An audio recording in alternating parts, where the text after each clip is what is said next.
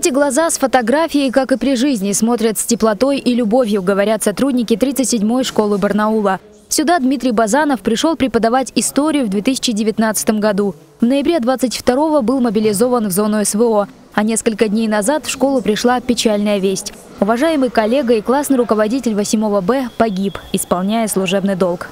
Когда э, мой ребенок поступил в его класс, знаете, мы были все рады. Э, мы увидели, как ребенок действительно открылся, действительно начал заниматься, и он, она начала стремиться к чему-то новому. И он, она любила познавать тогда, она заинтересовалась историей.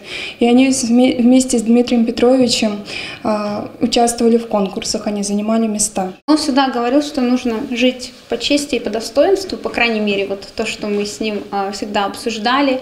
Э, советов, наверное, он давал очень много, если вот так вот оббежали бы вдруг детей ни один, вот абсолютно ни один ученик, я уверяю вас, не сказал бы ничего плохого. Настолько вот он был солнечный, открытый, при этом честный и одновременно строгий, ну, это редкость большая. Мне, конечно, очень жаль, что так мало времени вот выпало, что я пришла сюда, когда он уже здесь работал.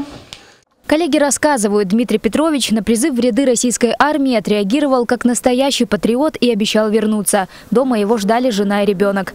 Прощание с героем, другом, коллегой и учителем состоится завтра в Барнауле на Аносово 8. Анара Шагирова, Алексей Фрезин. День с толком.